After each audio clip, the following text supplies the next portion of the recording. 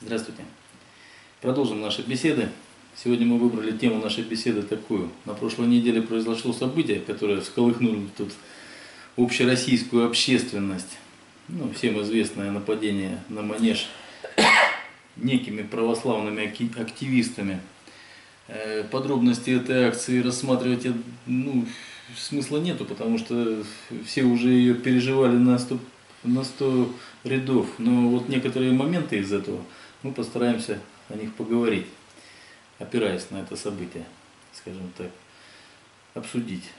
Ну вот э, у нас сегодня в беседе наши постоянные участники наших бесед, значит, Сергей Иващенко, э, председатель э, некоммерческого фонда «Союз украинцев». Председатель правления некоммерческого культурно-просветительского Союз украинцев, фонда, Союз украинцев Сибири. Сибири. Значит, и э, батюшка отец Феодосий, игумен Феодосий, тоже постоянно. Я тоже титулов, блин, можно тоже на председателя областной общественной организации, отеческое духовное наследие. Рады приветствовать телезрителей и вот э, интернета-смотрителей. Да. Батюшка, вам первому слову по поводу события. Что вы можете сказать? Ну, я всегда стараюсь, и, и думаю, это все-таки правильно, подходить ко всему с точки зрения научного анализа и подхода. Мне из всей этой истории это ничего не нового, это принципы действия а, а, особенно ярко проявлялись в безбожную пятилетку а, после революции, когда там тоже кому-то что-то не нравилось, жили, ломали. Сегодня не нравится одно, завтра не нравится другое. Да. наоборот. Да, абсолютно, да. То же самое. Конечно. И каждый считает себя вправе ну, сделать другому больно. То есть даже не предупреждая, не говоря ничего, чисто так, знаете, вот как принято в животном мире – то, что в данный момент имеет возможность, там, перегрызает горло более слабому и пожирает. Вот такой принцип жизни. Но здесь я вот заметил одну очень интересную вещь и очень правильную вещь, которая прозвучала в средствах массовой информации. Пошли очень четкие и жесткие сравнения с действиями исламского государства в Пальмире. А, абсолютно оскорбление чувств верующих, Аллах не повелел, а, это все надо, все эти статуи древние надо разбить, то что храмы, которые люди строили, там а, осталась от них единственная память, люди величайшие художники, ну, величайшие, это несколько тысячелетий конечно, назад, да, это... мастера, невероятнейшие таланты, которые дошло до наших дней, все сравнять с землей, разбить, разломать. И все из э, сказки о том, что это нужно некоему Богу.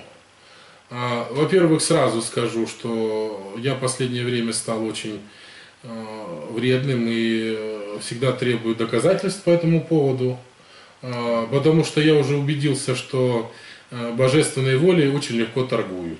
И вот я хотел бы увидеть вот у этих людей конкретные какие-нибудь свидетельства и доказательства того, что это оскорбляет э, Бога или его Пречистую Пресвятую Матерь, или святых, и они на это очень обижаются, переживают по этому поводу, э, ходят в расстроенных чувствах, обращаются к небесным психологам, поэтому испытывают глубокие душевные терзания или страдания по этому поводу – дело в том, что это в самом принципе нарушает богословие. Бог поругаем не бывает. Да. И оскорбить его никоим образом невозможно. А выдавать э, ну, свои собственные оскорбления, свои собственные чувства за оскорбление э, божественного величия совершенно не стоит. Потому что ну, как бы оскорбление чувств верующего человека, оно а, тогда может быть, когда это, например, нарушение богослужения, там, зайти в храм, разбить икону, ну, сделать что-то такое, понимаете, вот а, кощунственно неподобное а, специально, чтобы сделать гадость. Вот специально, побить окна, не знаю, устроить пожар, еще что-нибудь сделать такое. А когда начинают откапываться скульпторы и художники 50-х, 60-х годов, а, которые жили в такое безбожное время, когда они и нельзя было купить Евангелие найти нигде. И они, несмотря на гнет советской власти, а, умудрялись и какой-то осуществлять духовный поиск в этой темноте, когда вообще ничего не было, и спросить-то было не у кого. И удивляться, потому что они не совсем соответствуют э, тому, ну, таким образом, к которому мы привыкли, традиционным образом, к которому мы привыкли, просто глупо. Есть, знаете, одна притча такая интересная, как э, там было кораблекрушение, и три, э, трое, трое, трое ну, как не знаю, монастырских послушников потерпели крушение и на острове жили очень много лет.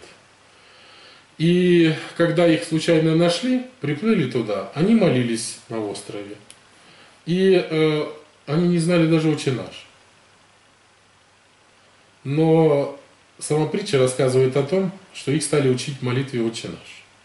Они вроде бы ее выучили, эту молитву. Они уже стали старыми древними дедами, уже старцами древними стали. И потом, когда корабль уже отплыл, они не захотели покидать свой остров.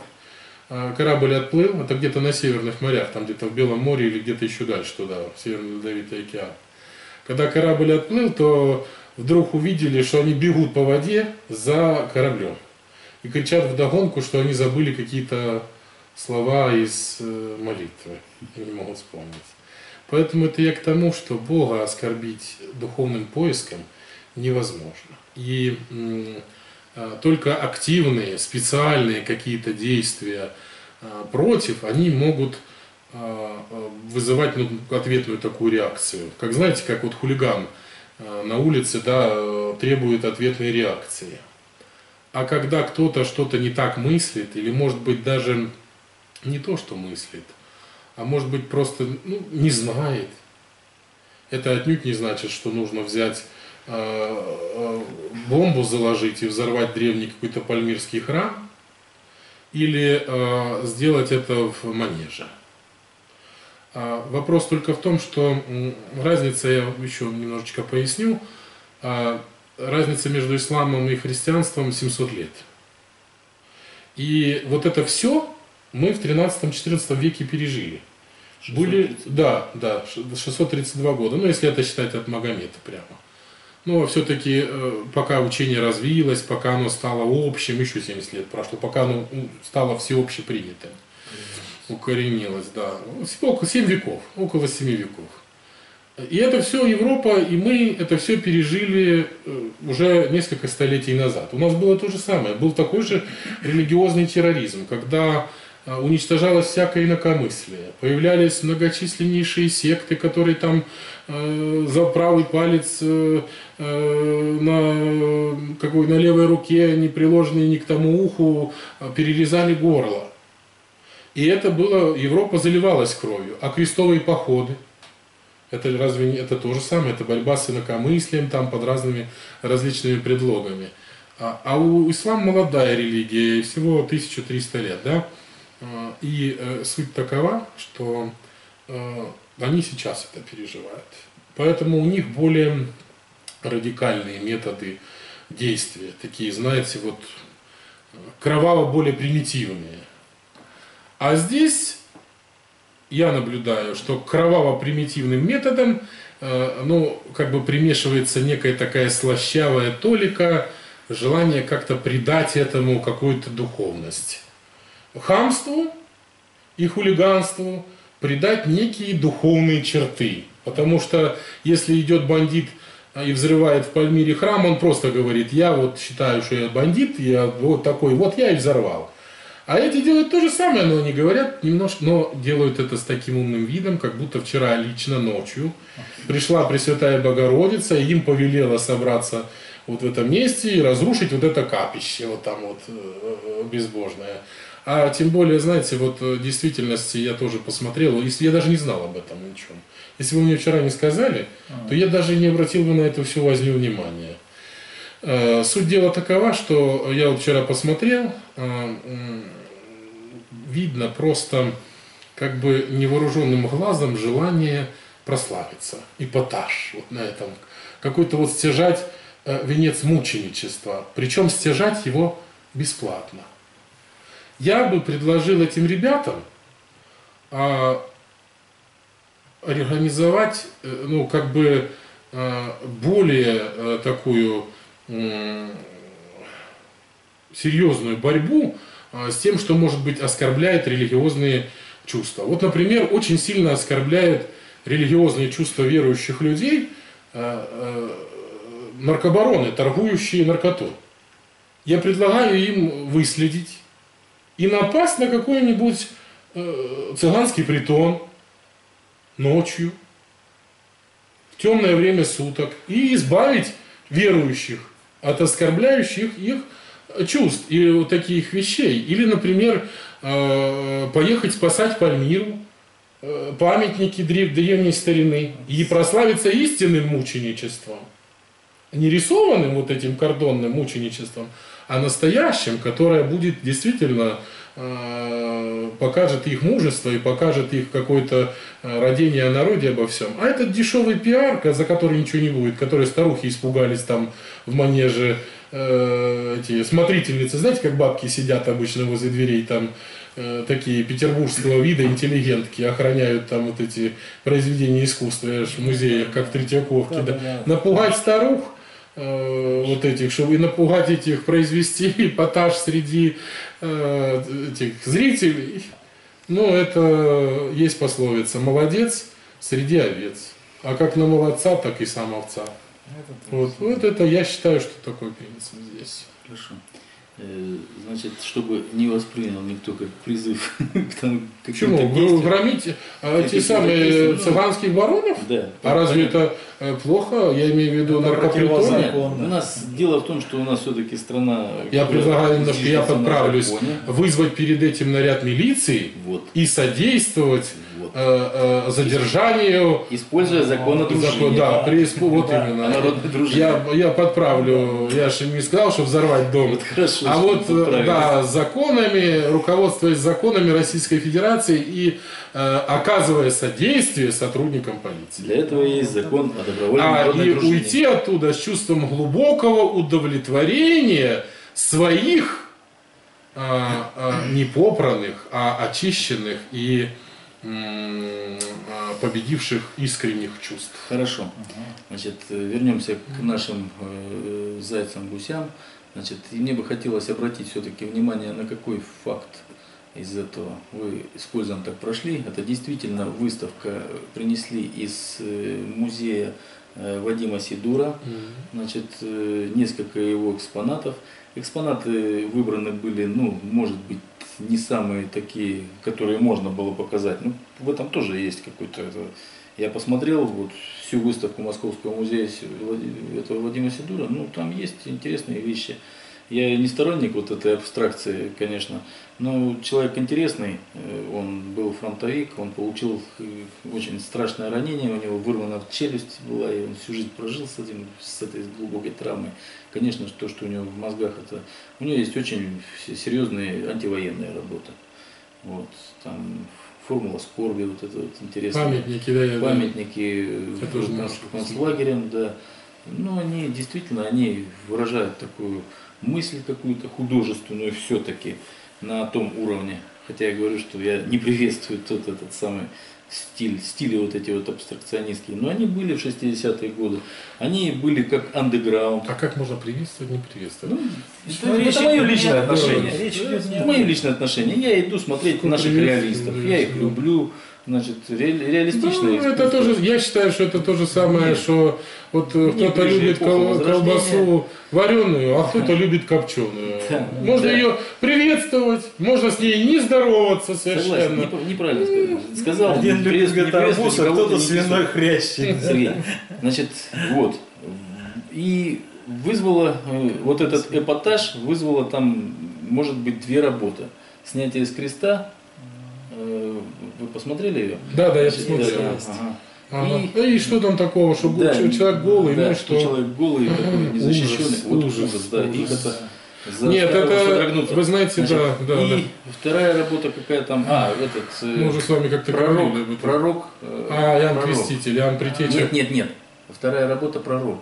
Она так и называется. Да. Там такая фигура, э, не, такая фигура, ух, не сказать человеческая, не человеческая, вместо головы там какая-то абстракция, но зато присутствуют некоторые органы, и он держит в руках Иисуса Христа.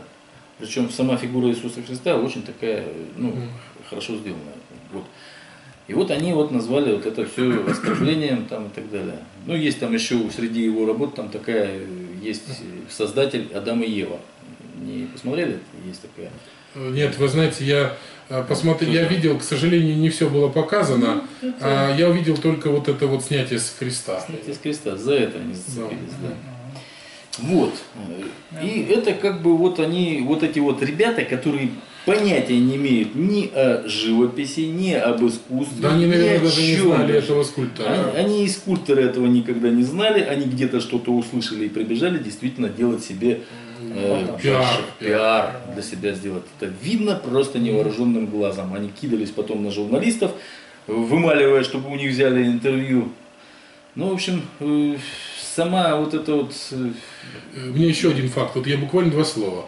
Вы знаете, вот раньше было, помните, какие-то такие богоборческие выставки в Москве, когда к этим богоборцам-то обращались, что, мол, вот нехорошее изображение, уберите. Они говорили, нет, мы не уберем. И начинался скандал и драка.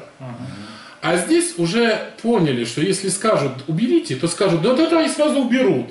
Да. И поэтому, Поэтому чтобы не успели убрать, успели убрать, да, чтобы не дай бог, да, кто-то не сказал, что это такое, и убрали, нет, надо было сделать это все неожиданно, как так на щи. Совершенно верно. Значит, Чтобы пиар вместо, вместо того, чтобы, если там не понравились вот эти вот головы Иоанна Предтечи разложены, ну действительно какая-то Ну и неприятная убрали бы, я, я даже уверен, что убрали. Пришли, Руководство Да, музея. пришли к этому в дирекции манежа и сказали, ну, ребята, ну, такого можно не ложить. Я в тысячу процентов уверен, что Наверное, руководство да, убрали. Не пошло бы ни на какой конфликт с РПЦ. С РПЦ, Да, конечно. на- даже на вот такой маленький. Убрали. Сразу бы убрали.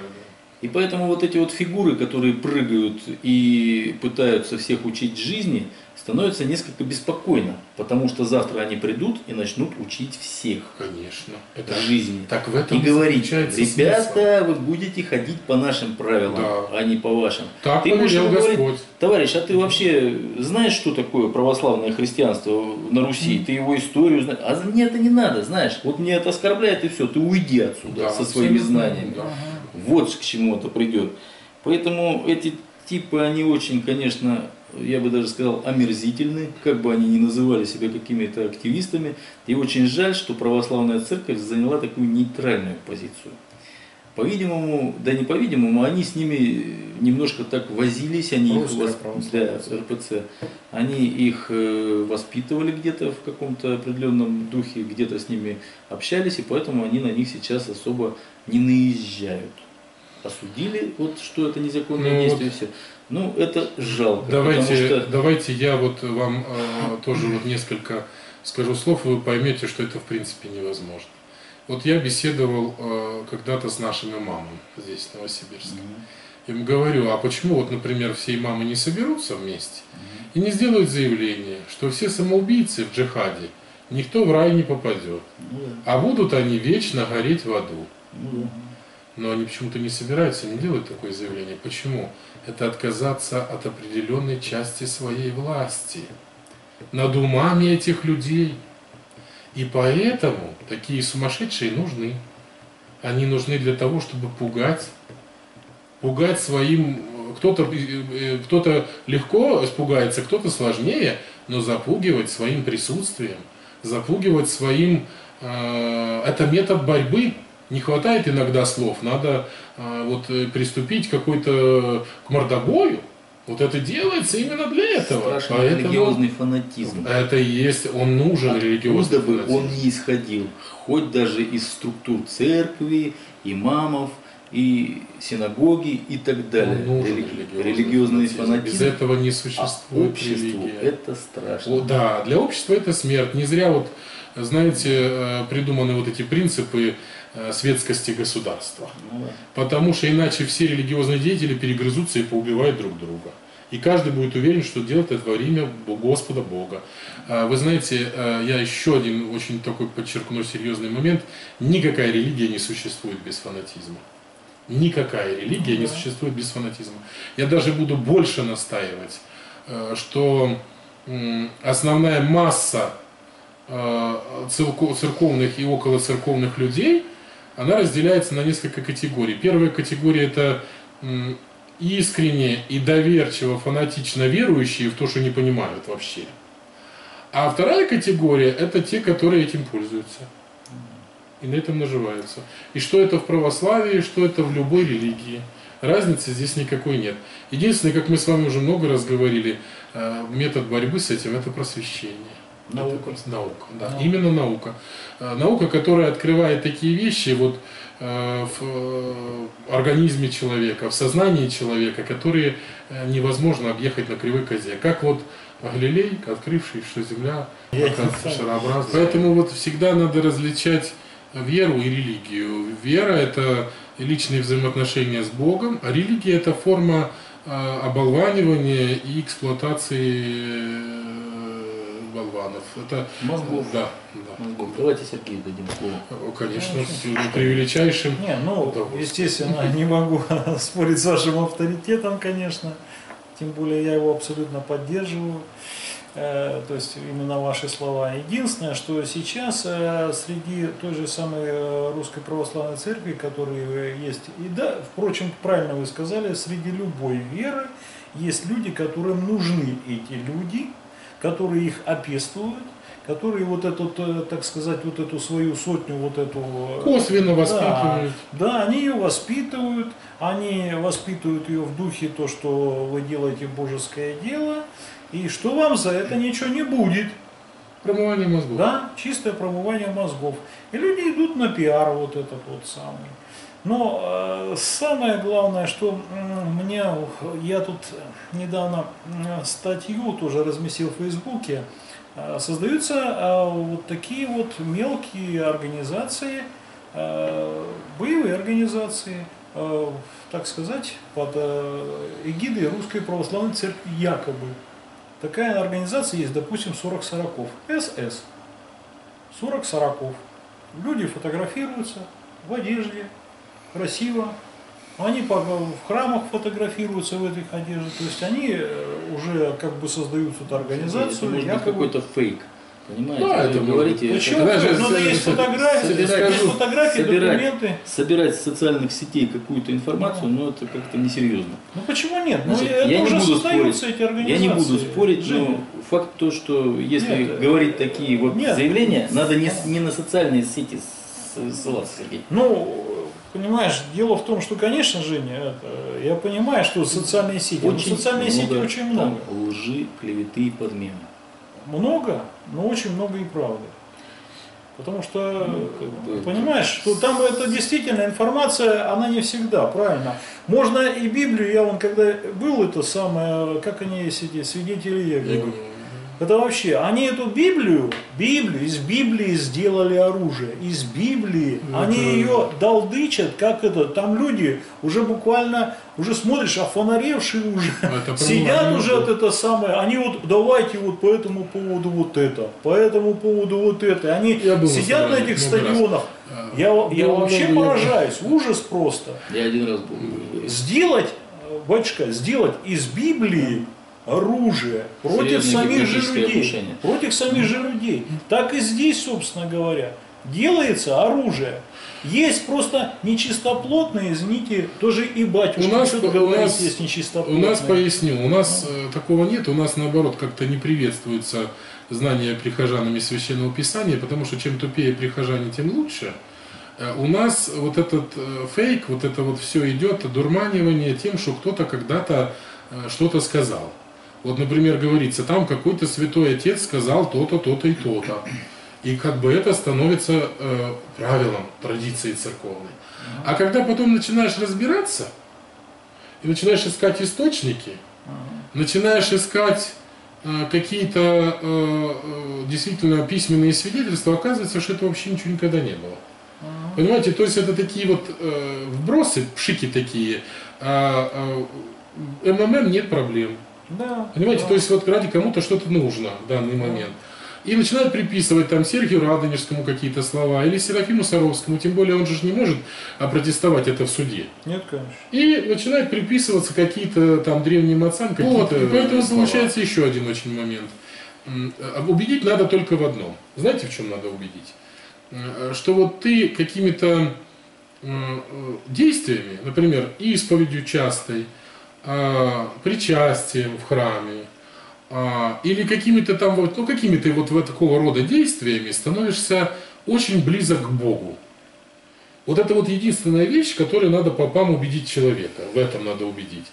А потом рождается чувство безнаказанности, потому что, ну раз ты а, с главным судьей в таких близких договорился. договорился, да, в таких близких отношениях, чуть ли не договорных, и он прямо конкретно в священном писании пообещал тебе за это вот это, за это вот это, а за вот это даже вот это, Полная индульгенция. да, то ты получаешься совершенно безнаказанен. Да. И тебе какие-то э, земные наказания даже не страшны становятся, потому что ты понимаешь, что там, там-то вот высший разум, творец вселенной, он тебя во всем оправдает. Ты с ним договорился. Да, и вот поэтому вот высшие церковные чины с такой легкостью делают очень такие тяжкие э, темные делишки. Да, вот. Им кажется, что они вообще прям там уже вот э, прям в кармане у Бога В сидят. отношении к сознанию общества, скажем так. Да. Темные делишки, да. Нет, Вот эти опре- определение Э, то есть общества. они именно- производят Фильтром. некоторые действия, э, которые заряжают общество в какую-то систему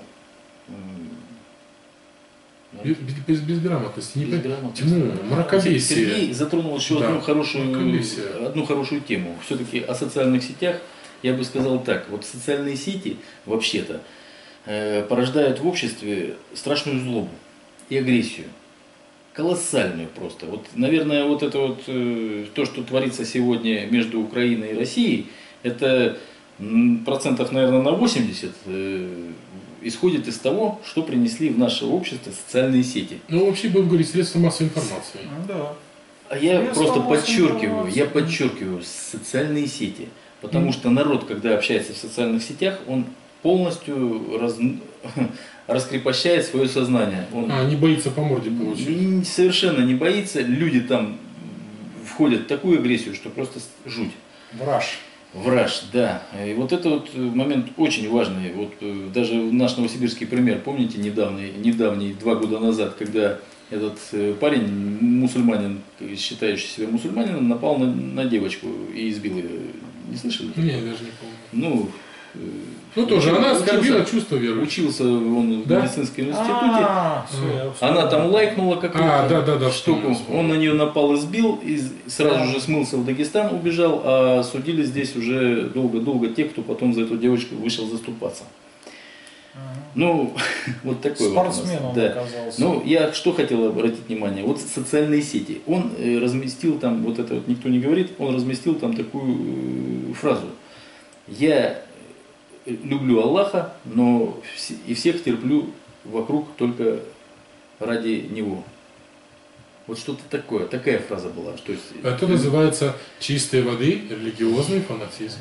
религиозный фанатизм, понимаете, ведущий именно к радикальному э, Конечно. выражению и агрессии. И на это внимание мало кто обратил, Это называется чувство богоизбранности. да. А раньше мусульмане, когда я в 80-е год- годы впервые столкнулся с нашими российскими мусульманами, они мне объясняли такую вещь. Э, Жень, мы слово Аллах вообще стараемся не произносить, потому что оно свято. А этот парень разместил это слово э, в бесовских социальных сетях. Ведь они же с любой точки зрения социальные сети это бесовская вещь. Ну, в том плане, что там много нехорошего, да? Да, да. Понимаете, вот совершенная отмороженность вот по этому поводу. Э, мусульманин, он вообще, он даже тюбетейку носит для чего? Для того, чтобы э, Всевышний не проникал в его грешные мысли. Он в храме должен быть в тюбетейке. Понимаете? Вот. И они это слово произносили с благоговением, там много названий его, но ни в коем случае не выносить вот на такие вот вещи. То есть парни делают э, вот такой вот удар по Да. своим же, Это примитивные познания о Боге. Они примитивно верят, и эти примитивы А, вбивают да. во всех религиях, в том о, числе он действительно такой, и в «А, христианстве, да, везде. и в исламе, и в буддизме, и в иудаизме. Этот примитив вбивают э, в маргинальные слои населения. Только того, знания чтобы- могут с этим бороться. Когда ты можешь э, трезво со стороны на себя посмотреть и увидеть, что ты э, обыкновенный э, кусок мяса э, костей э, и прочего, наполненного кучей гормонов, инстинктов и разных всяких хороших и нехороших качеств, вот тогда ты начинаешь понимать, что ты э, э, на самом деле ничего такое не избранное и ничего не особенное, а обыкновенный, как все на земле живущие люди. И никто тебе не давал права, э, э, защищая свои чувства, надмеваться над чужими чувствами. Ведь у этого скульптора наверняка тоже были какие-то свои чувства, и наверняка они были не хамскими, не похабными и не какими-то там желающими кому-то какую-то гадость сделать.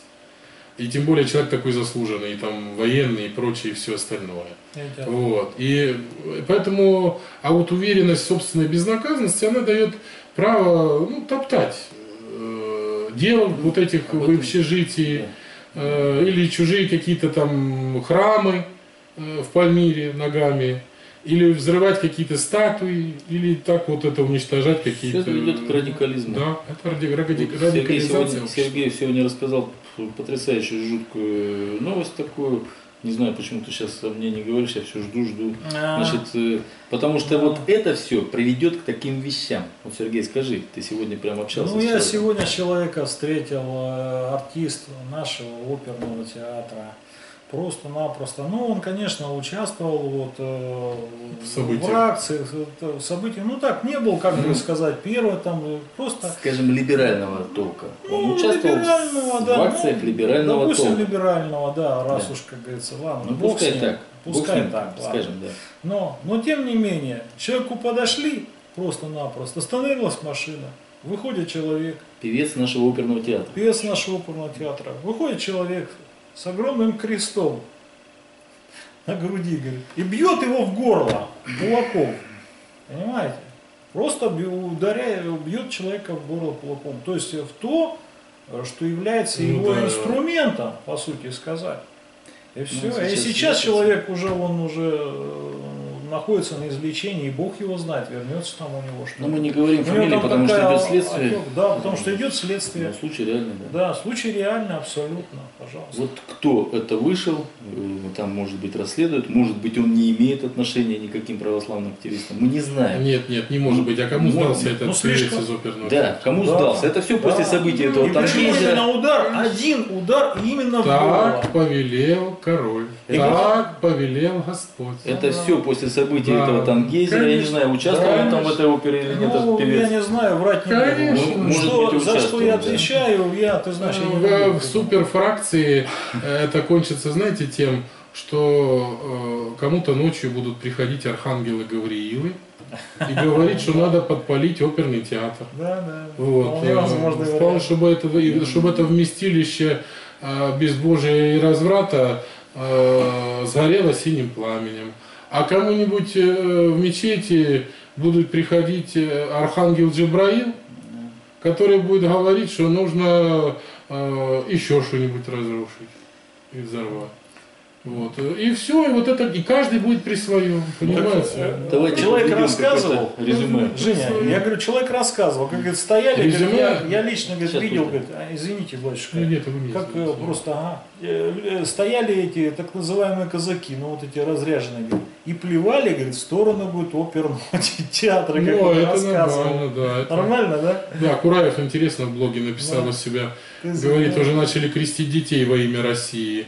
Раньше все это было во имя Иисуса Христа, теперь во время России. Ну, говорит, по крайней мере, нужно одно оставить. Мы же плюем на Запад, когда крестим, от- отрекаемся от сатаны. Можно так и плевать в сторону Запада и дальше. Если хоть будем крестить э, во имя Иисуса Христа. Значит, суть проста. Конечно, это никто не будет слушать то, что я говорю, и прислушиваться к этому не будет.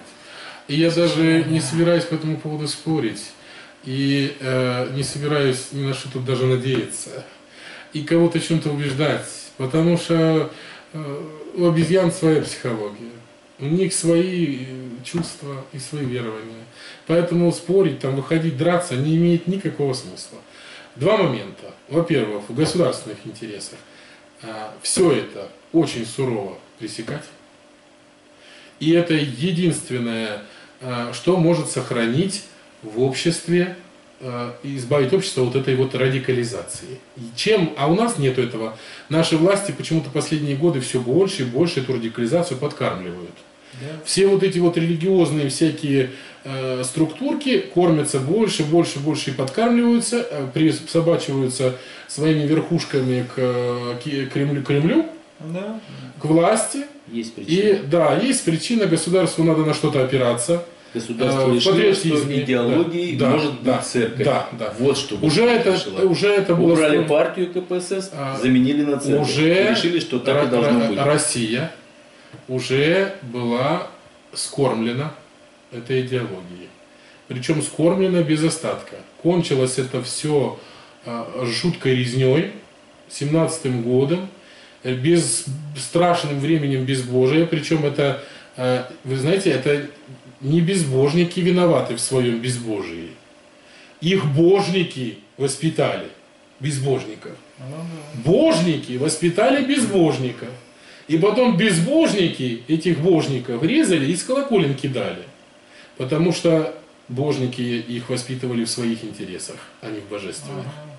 И вот эти вот сейчас нынешние тоже в своих интересах бандюков этих воспитывают. Богу это не нужно. Понимаете как? Написано в Священном Писании. И отымешь дух его, и возвратится в землю свою, и в тот же мгновение, в тот день погибнут все мысли его. Богу киллеры не нужны. Ну, абсолютно. Адвокаты не нужны, прокуроры не нужны и судьи не нужны. Но почему-то люди с очень большим удовольствием берут на себя роли божественных адвокатов, божественных судей, божественных киллеров и палачей, исполняющих святую божественную волю. Где вы найдете в Евангелии, что, например, э, посылаю вас э, защищать мою волю, мои интересы, убивать неверных. Найдите это где в Евангелии. Зато- Наоборот написано, посылаю вас как овцы среди волков. волков, да. Да. А тут нет, тут надо вот все поубивать. Вы понимаете, в чем проблема? Объясню еще одну маленькую проблему. Путается очень легко а, государственный патриотизм, национальные какие-то интересы Да, да. с религиозными. Это нельзя вещи путать. Это разные совершенно вещи. Это э, у Христа, у Бога нет ни Эллина, ни Иудея, апостол Павел написал. Ага. Не надо выстраивать национальности и так далее и тому подобное. Поэтому, значит, первое, что я хотел сказать, это жесткое пресечение государством всего этого. И причем должна быть пропаганда во всех вот этих средствах массовой информации, которыми полностью обладает государство, а, что это все плохо, не, не реклама, что это э, вот э, ну некий такой вот э, герои, героизация вот этого всего э, пошлого момента. Даже вроде не хотят, но все равно делают Да, героев. да, да, делают героями, да. И э, в другой, с другой стороны, вот это со стороны государства должно быть. А с другой стороны, значит, чисто и очень самый главный момент – это воспитание и просвещение людей и детей а, а, в э, чувствах и а, в знаниях, в знаниях научных. Тоже государственная Да, задача. это государственная задача. В результате этого Ни в коем случае не допускать к этим вещам, к культуре, к образованию, и к науке и так далее. Да, э, религиозных религиозных деятелей. деятелей. Да, любых. религий. Ну, прямо мы с вами.